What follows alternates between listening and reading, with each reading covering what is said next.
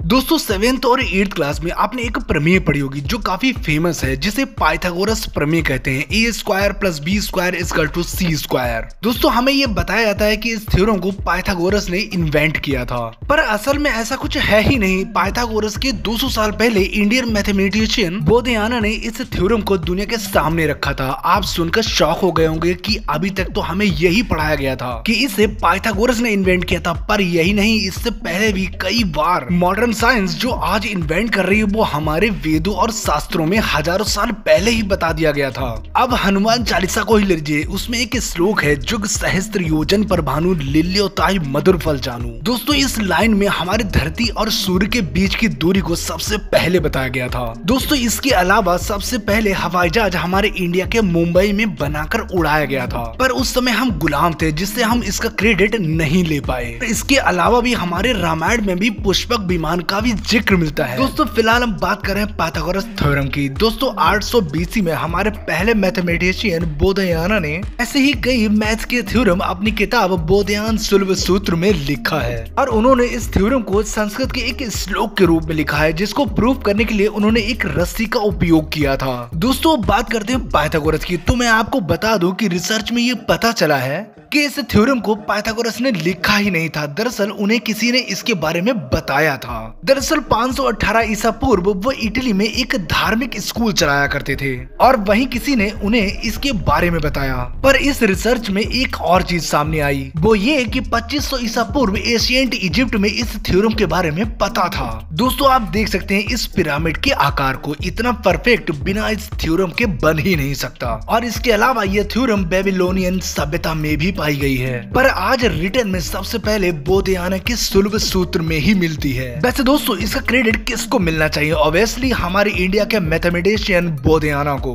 पर आप लोगों का क्या कहना है? कमेंट करके ज़रूर बताएँ।